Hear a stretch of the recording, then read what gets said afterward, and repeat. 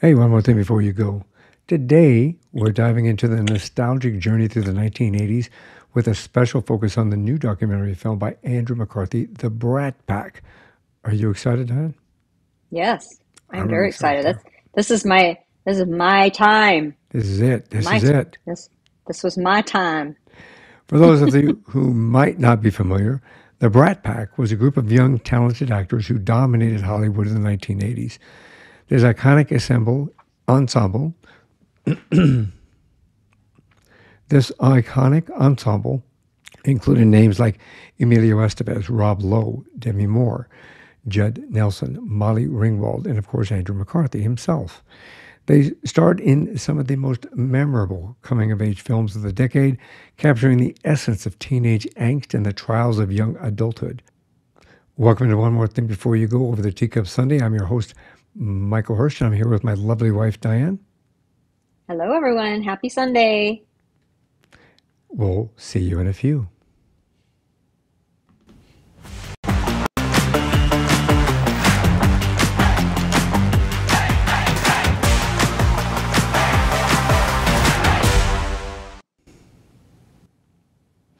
Hey, Diane. Hello, Michael. You know, this is right up your wheelhouse, isn't it? Yes. Oh my gosh, this was such a part of my life when I was 16. Oh, all of it. All of it. You know, it it's it is obviously I've watched a good portion of these, not all of these, but Right. um, you know, I kind of um, I think uh, well, we'll get into it well, the more we get into it, but you know, there's some Rat Pack adjacent people that I was more Yeah. familiar with than than this group here. But you know, hey, Yeah. we're going to have some fun anyway. Yeah. Absolutely. Well, let's tell everybody about what it is. Andrew McCarthy uh, did a documentary film, um, and basically he he how old is he now? How old do we figure out? He's like sixty two, 61 or 62. something Yeah. like that. Which just seems insane. Yeah, he he Anyway. Yeah. It's weird weird looking about these movies, and then well, we're all aging, and we all don't see ourselves as we used to be anyway. But Yeah. in this documentary, The Brat Pack, he reunites with some of his former co stars to reflect on their shared experiences and the impact they had on pop culture. The film features candid interviews and behind the scene footage offering a fresh uh, perspective on the highs and the lows of their careers and, and their friendship. As we delve deeper into the Brat Pack documentary, we'll explore how these films not only defined a generation, but also left an indelible mark on the landscape of American cinema. Andrew McCarthy's documentary takes us behind the curtain, revealing the camaraderie and the conflicts that shaped these young stars' lives both on and off the screen. So, whether you're a longtime admirer of the Brat Pack, as you are, Yes. and I, I am too for every one of these actors actually, or discovering magic for the first time, and there is magic in these movies.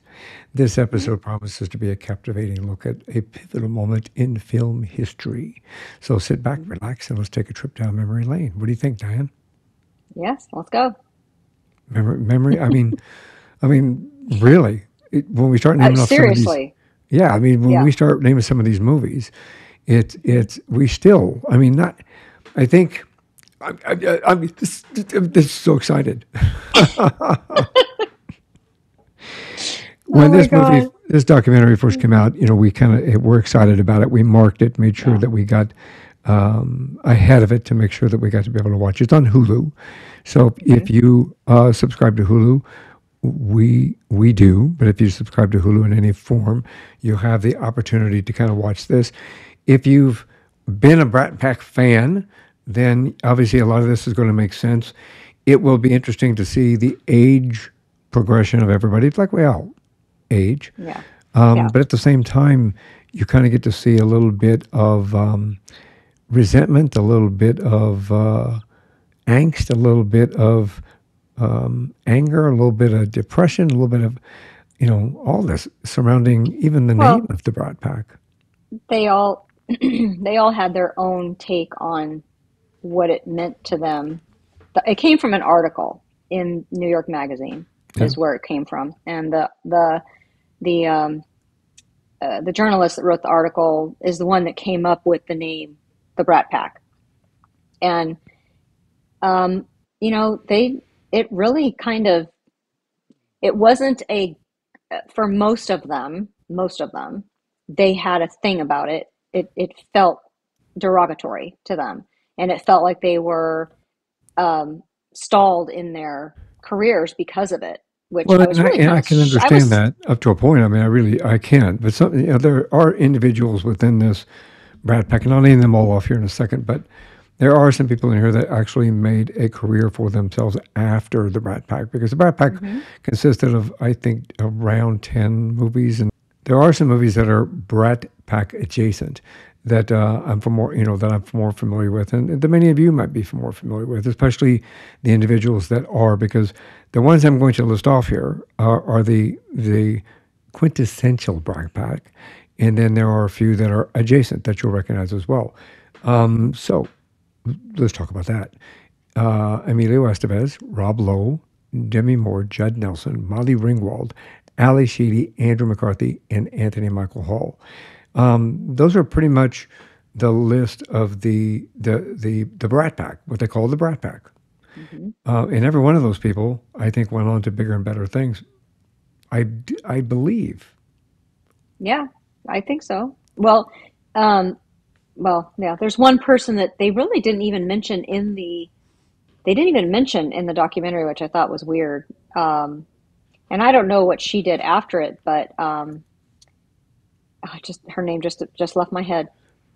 She was in St. Elmo's Fire with the rest of them. Yeah, and I, I actually in all my research, I didn't find anything.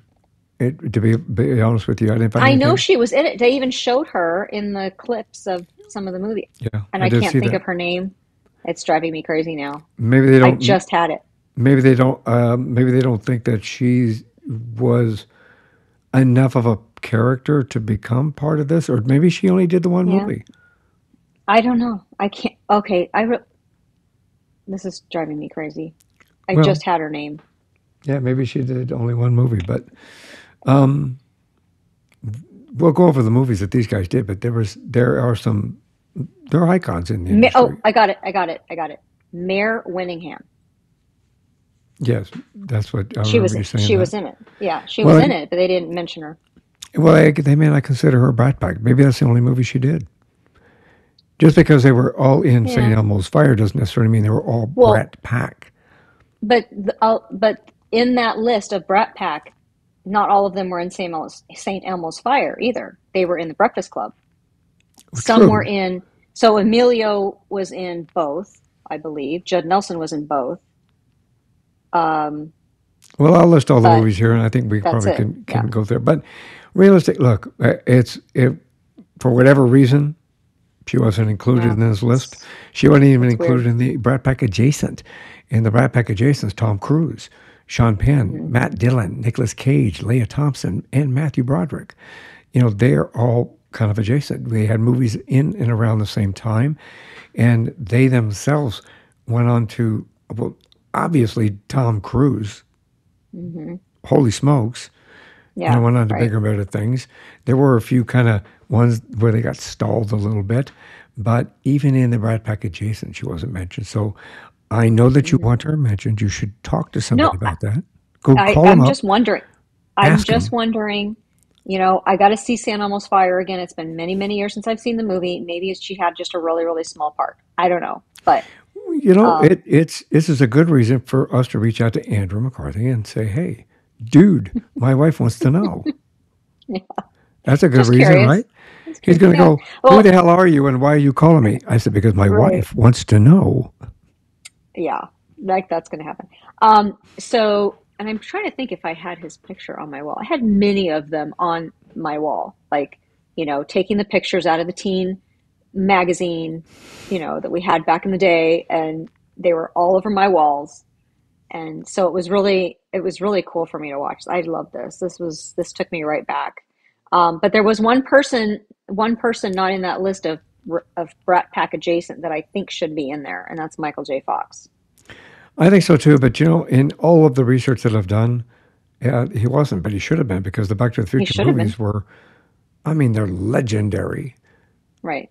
and, in within the maybe that was kind of the, more the tail end because that was what. No, That, that I think tho- those came out the same year. I yeah. think I guess they 85. did. Yeah. So, or the first Hmm. one anyway. Well, maybe because But he was all by himself. It was only him. Lea Thompson was in it. Well, him and Lea Thompson. So, hmm yeah, maybe It's that was it. weird, isn't it? Weird that he's not on that list. Anyway, Well, let's tell everybody about the list.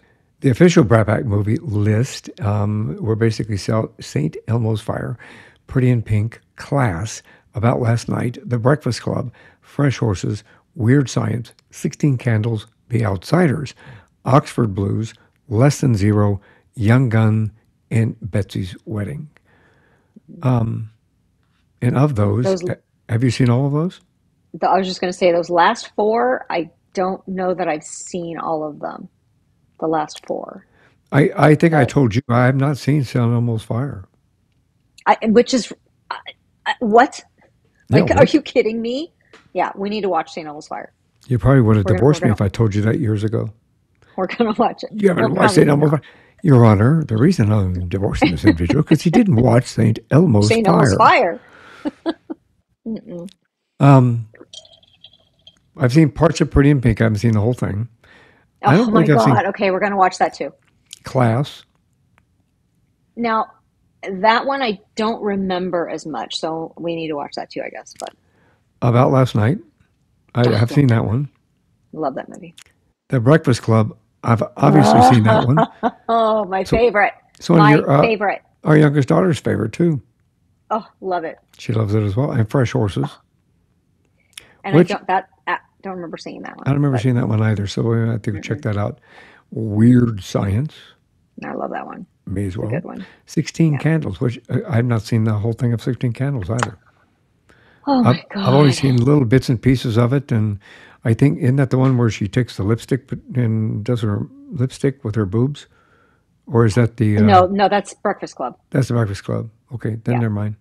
Of course, that's the part you remember. Hey, 16 Candles, was that the one where Anthony Michael Hall was in the bathroom? Yeah, Yeah, had his had yes, somebody's underwear or something. yes. hers. Yeah. Okay, that's the part I've seen. I think that I think that's 16 Candles. That's what I've seen I, I, always- I. I get a lot of 16 Candles and Pretty in Pink mixed up, which I don't think I'm the only one because they came out very close together and it starred the same people pretty much. So it's either it's one of those. Yeah. How about The Outsiders? I love The Outsiders. I haven't seen that in years I've not too. seen that one either. I've not seen Oxford. Okay. Oxford How did I, how have we been together 35 years and I never knew this? I don't know. Haven't seen The Oh Outsiders. Haven't seen Oxford Blues. I've not. I've not seen Less Than Okay. Zero. I have not seen Oxford Blues or Less Than Zero. So Okay, Young I Guns. I've guess seen. I've seen Young Guns, I don't remember that one. and I do believe I've watched Betsy's Wedding. I, I think I remember pieces of it. So anyway, we're gonna Yeah. have to we're gonna have to have like Brat Pack movie weekends Well, and and you know the really cool part about that is Hulu has them Yeah. all listed and readily available for you to viewing pleasure for your viewing pleasure hmm right Yep. after the documentary film. You can, Yep. you know, kind of scroll down a little bit and it's got the whole list of Brat Pack movies. You go, And and just just in case you didn't say the name because I didn't catch if you said it, the name of the documentary is Brats. Brats. Yeah, I probably didn't say it. Brats. Yeah, It's called Brats. Yeah, Yeah, I don't think I it's did really say good. it. I just said Brat Pack, Brat Pack, Brat Pack. Yeah, yeah. So So it's Brats, and it's really good, and I good. highly recommend you watch it, especially if you are my age and you were 16 in 1985. Well, and, and it not just 1985, a lot of it still applies today, I think. Well, yeah, but I'm just saying it's for those of us of that age when those movies came out, it's just, I mean, you have to see it. Do you think it had a cultural impact? These movies had cultural impact, especially from your oh, perspective, because you were right in the middle of it? Yes, yes, for sure. Um, you know, um, I'm trying to remember back. Um, definitely, well, I think it, I don't know. For me, I think it really started with um, a movie that came out in 82, which I was actually probably, I was kind of on the cusp of maybe, maybe I shouldn't have seen this movie. Um, but one of your favorites, Fast Times at Ridgemont High.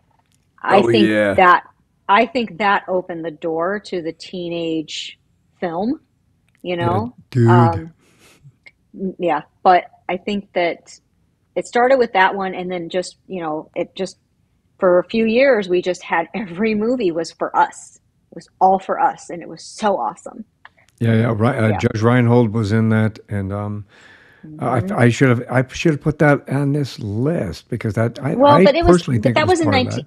that but it was I think it was like I said, I think it opened the door, but it was a couple years or a few years before. Yeah, but they So, included Sean Penn in the adjacent one, so I would yeah. guess. I mean, look, Well, you then that would then then you'd have to include Jennifer Jason Lee and um, uh, Phoebe Cates, you know, And as a those those guys went on for a whole bunch of other stuff in the '80s too that Yeah, were really really iconic movies. yeah. So I, Well, yeah, I, I think I would. I mean, I would. I my personal library. I'm going to say yes. okay. Well, then sure. I can do that. I How about the how about the unforgettable soundtracks that still resonate Oh, today? yeah. Oh, I've, I've got the song in front of my head. Breakfast Club, Judd Yeah, Nelson. Yeah, oh, forget it. And yeah. every Judd time I hear it, Everybody will do and and they, I'm sorry, they play it all the time, They all the time. I hear it almost every day. And uh, everybody will It's be amazing. disappointed if you're Judd Nelson fan. He did. He politely declined, along with um, Anthony Michael Hall. They both politely. It, it says literally, quote, politely Politely declined. declined to And be Molly in, in Ringwald, show. Rolly Wingwell politely declined also. yes, She said which she didn't want to of backtrack. disappointing. Yeah, I like it. Like we were saying, um, the whole Brat Pack um, We'll call it era. persona, right? But but the persona of being in the Brat Pack really affected a lot of them negatively. But I think what's really interesting about the documentary is, especially when he talks to Demi Moore. Oh my gosh, this woman is so wise and just puts it all in perspective so well. Even even you could see him making breakthroughs for something that has affected him for 40 years. I made a Is a breakthrough. you did too, just by what she was saying. It's amazing. If you don't watch it for anything else, watch it for that conversation. It's about halfway through. It's at minute 53. Watch it, learn it. It's amazing. And you know what's really cool about that is the fact that you'll understand um, Demi's background a little more. You'll Yeah. understand some history behind everything. And the, hmm the mere fact that she came up with what she did in the conversations that she had were so Amazing. enlightening and so uh, full of wisdom and retrospect Yes. that it um, you kind of go, wow, she's really come a long way. She and she's done a lot of work on Yeah, herself for sure to come up with what she comes up with. It's it's it's pretty um cool actually. she's I would just love to sit and talk with her for hours. You think the fashions inspired um, like trends? Oh yeah, we dressed like that in high school for sure. Like Every every time the movie came out, we were dressing like something in the movie for sure. Yeah. I have to ask you that Yeah. because you know when um, those came out, you were still in high school. I wasn't. Right. But and the big hair, please. I mean, if the 80s weren't weren't anything else, it was big hair. In fact, I've seen some I had pictures it. of you the big hair. Yeah. Yeah. Oh Yeah. yeah, I had it. In fact, you kept it even for a little bit. You had some big hair when we first met. Yeah. Yeah, not Yep. quite as big Well, as the '80s, but well, we met in the 80s, honey. we met in the '80s. We we did so meet in the '80s. yeah. So, yeah. Um, in fact, we met, you know, 3 years after these movies came out. So, yeah. I still had the big hair, for sure. Yes, and and and the the, the fashion. I, I hmm remember certain things like the long denim skirt with the big uh, uh, belt with Big the belt. with the uh, Yep. uh, what do you call them? Conch shells, not conch shells. The silver. So my silver belt that I still have that I can't wear. well, One should day I will be back in that you'll belt. be I back in that you. belt. Um, let's talk a bit about the movies. The Brat Pack movies are filled with iconic scenes that have left lasting impressions on an audience. Here's a few memorable moments.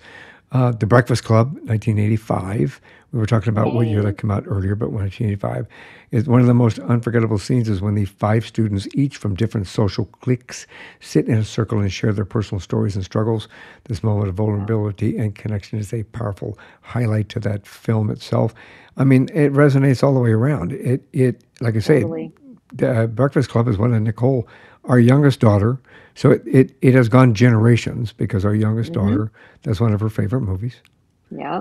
is The It's Breakfast it's Club. uh and I love that that scene is uh, that scene is one of it's definitely probably my favorite scene. I, I'm sure a lot of people would agree that it I remember watching it in the moment and going, "Oh my gosh, they're like Yeah. they're actually people other people, guys included, because back in the day, we were, I mean, at least for me, I was like, guys never feel this stuff. Guys, guys are just guys, and you know, they're, you know, they can be jerks and whatever. They actually go through shit too. Oh, sorry, Well, it, and they go, and they, they go through stuff too. shit's And okay. and in and in Um, the moment, I I remember vividly going, whoa, everybody feels this stuff. I had no idea. yeah, and you know, realistically, when that's one of my favorite scenes as well because it does show the vulnerability of everyone and the fact that you know it resonates back to even when I was in high school because same things. You had cliques, you had um, the jocks, you had the drama geeks, you had the the cheerleader squads that I mean they were they were all cliques. And not everybody was, you know, you had the cool people, you had the nerd people, you had hmm there were all those separations and Well, nobody yeah, we had that. what's that? Yeah, we had we had that too, but I was just talking about more the the background, like with the family stuff. Well, I, Like, that's what I'm saying. It, and we yeah, all had secrets.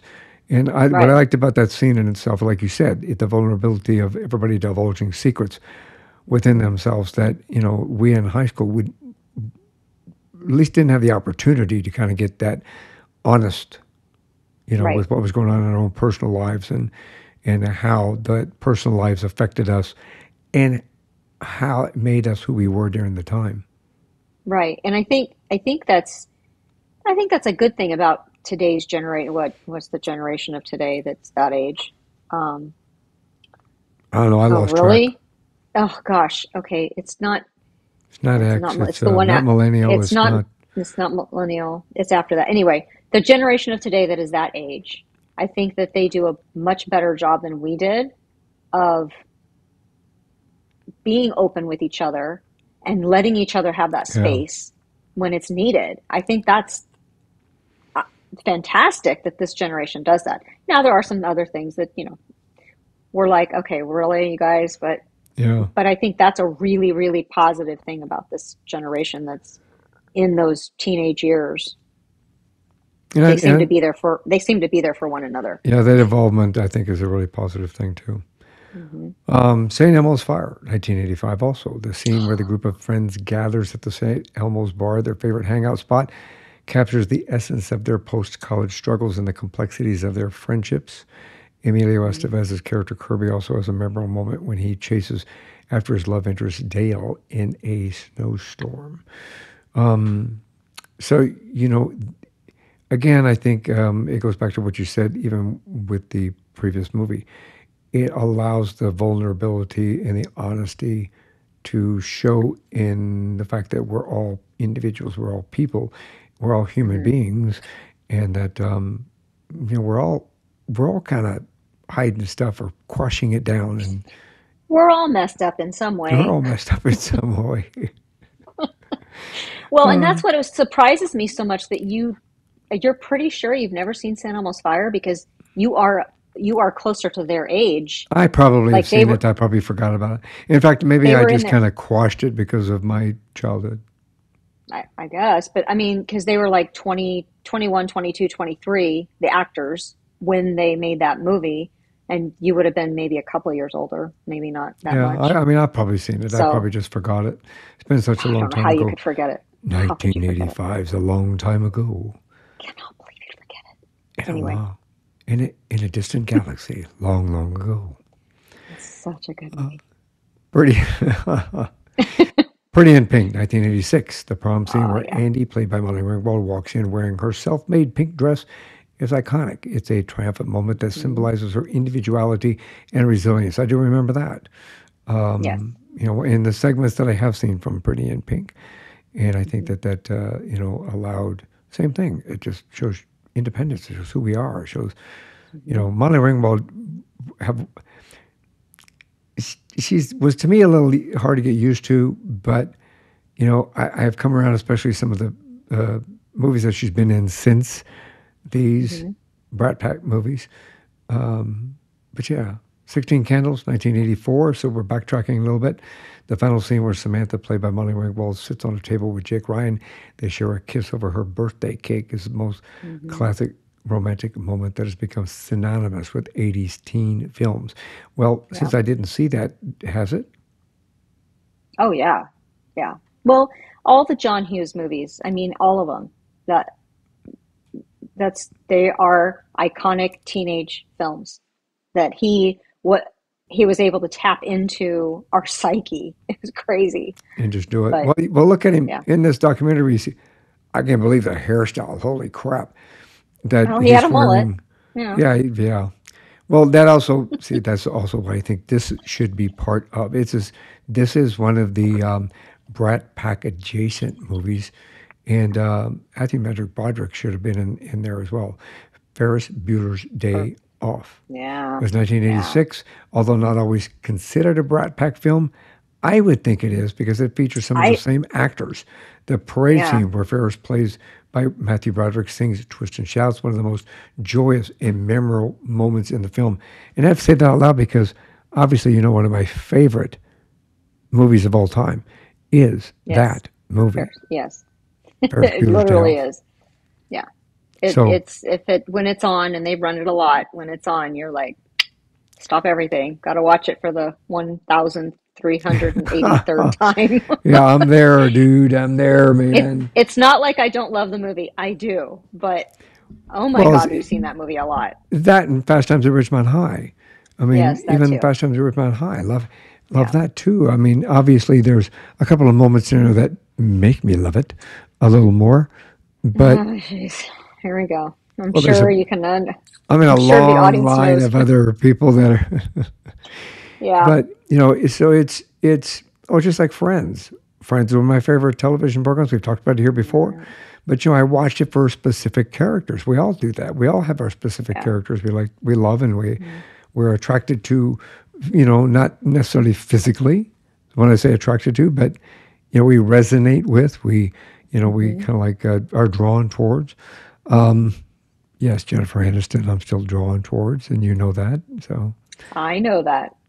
it's okay, but look, I gave you a, okay. a Matthew Perry, um, like still shot, headshot that uh, you know put in a frame yeah, for you. Don't don't mention his name. But, I'm still uh, very sad. Memories, memories. Anyway, good memories, yeah. good memories, friends, good memories. But yeah. yeah, so I mean, the Brat Pack, the Brat Pack documentary, I think, is a must watch. If if you grew up watching these movies, I think that you really should um, watch them. I think you should watch the documentary, yeah. even though that there are, you get an introspect behind it. In like you said earlier, you get different perspectives of individuals and how they saw their triumphs and tragedies differently than the other individuals. Yeah. How they saw, yeah. you know, how it affected them, what it did for them, where it propelled them, and you can see that in their careers. You know, yeah. you see that in their careers. Even in the adjacent, the backpack adjacent. Look at Tom Cruise, man, and what he's done. But Rob Lowe, same thing. Rob Lowe was a bad boy. Rob Lowe got into a lot of trouble as as part of the Brat mm-hmm. Pack, and he has come out of it ahead in so many ways. You know, even nowadays, and some people have fallen behind. Yeah, he uh, he had a completely different perspective, I think, than all of them, um, which at the time, I think his perspective is what I what I kind of imagined them to be feeling. Um, I was really surprised to learn that it wasn't a positive experience for most of them. Yeah. Um, and and the fact that they took that Brat Pack name, even at the time, I knew what the guy was sort of going for, and it wasn't calling them brats. It was just to take on the Rat Pack, which yeah. I knew of just because, you know, my parents and everything. I, you know, I, I knew of Frank Sinatra and Sammy Davis Jr. and all that. So at the time, I remember thinking, oh, so they're just, it's a new Rat Pack. Uh, it's a group mm. of people who are at the top of everything. They are the it crowd. They're the it group of actors. So that's a great name. I mean, that's what I took from it at the time. Oh, I agree with you. I think that um, I, I saw that that connection as well. And I, I, think a couple of a couple of people that Andrew talked to had mm-hmm. brought that connection up in within that thinking, you know, hey, you know, it, it was kind of like the Rat Pack. I think Rob Lowe is the one Well, Rob. Lowe, yeah, You know, Rob Lowe Rat Pack. definitely took it took it for that, and Yeah, he he loved it. He loved everything about that time, but he seemed to be the only one, at least of the ones they talked to. So well, it was and and interesting. and I, I think he took it as a um, he took it like a uh, a badge of honor. Yeah, for I sure. would be a good way of putting it. I would have thought they would have too. But you know, when you're early twenties, you know, and and where they were at and what they were experiencing. I mean, I you know, I didn't. I wasn't. I didn't experience that in my early twenties. So you know, I can't really totally imagine what I would have done. You know, um, My early twenties, I kind of I I was a little wild in my early twenties. Um, I was not because we got married when I was twenty, and then we had babies. So I, you know, I well, wasn't. yeah, I'm sorry. No, Well, no, I'm don't say I'm sorry. sorry, I'm not not sorry. Say I'm just I'm just saying that my early 20s was completely different. I did I yeah, I, I don't know what I and what's funny is that I was actually going for that kind of career at the time when we met. yeah, I do. Yeah, So, I mean, that was the road I was trying to take, you know. So, it's I'm interesting. I'm trying to find the author of that article, and I in my notes, and for some reason I can't find it. Ah, what was his name? Yeah, because he it's I don't want to I'm not going to give a spoiler. So overall, what is your recommendation for anybody wanting to uh, should they watch it? I think you should. I mean, especially if you were of the age and experienced all those movies at that time, I think you'd really be interested in it. Um, you know, if you didn't really like the Brat Pack movies, and probably not, you know, or maybe you would because you get to hear how Yeah. of an uh, how negative of an experience it was for a lot of them. But I, I think it was great. I, I enjoyed it a lot. And for those of you that are listening, if you haven't watched the Brat Pack movies, go to Hulu, watch the documentary, Mhm. and then go check out all these films. They're amazing films.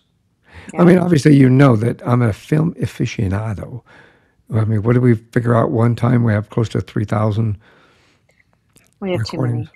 It's We, insane. we have so many that we're like, do we have that movie? I think we have that movie. I feel like we might have that movie, yeah. but we don't know for sure because we have too many. So, yeah, so it's kind of one of those things. Just do it.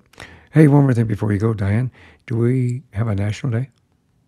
Yes, we do. It's kind of interesting. So, especially call, talking about Pretty in Pink, today is National Pink Day. That's why I'm wearing pink. And, and it, you've got a few hours left. You can go throw some pink on. Yeah. So, um, each year on June 23rd, National Pink Day colors National Pink Day colors the world in vibrant shades of pink and explores everything it represents. Dating back to the 14th century, to pink, quote unquote, the verb means to decorate with perforated or punched pattern. It would have been curious to find pink used in fabric or decor during the Middle Ages, which, when you think about it, you look at stuff from the Middle Ages, there's not a lot of color, really.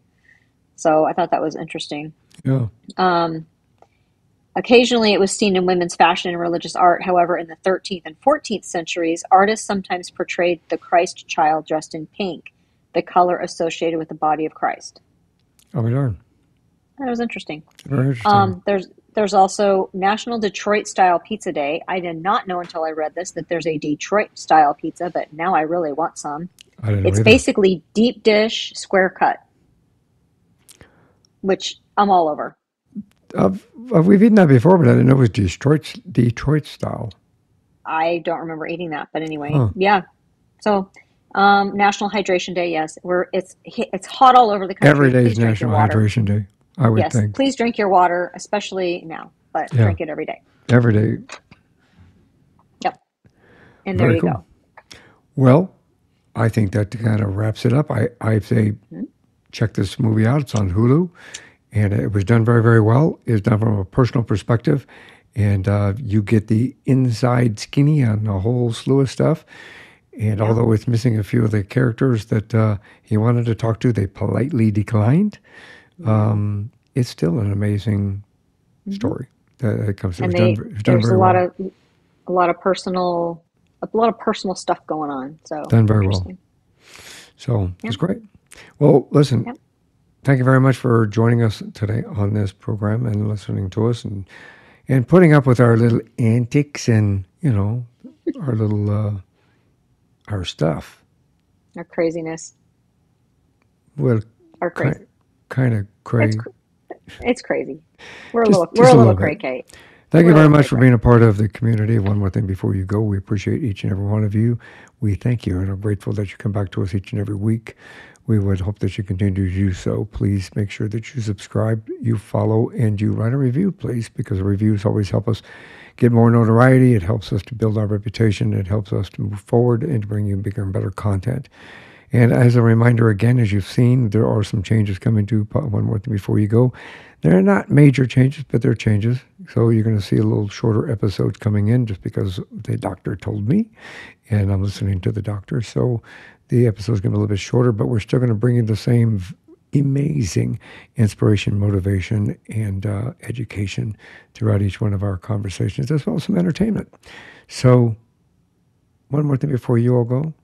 Have a great day. Have a great week. And thanks for being here. Hi. Thanks for listening to this episode of One More Thing Before You Go. Check out our website at beforeyougopodcast.com. You can find us as well as subscribe to the program and rate us on your favorite podcast listening platform.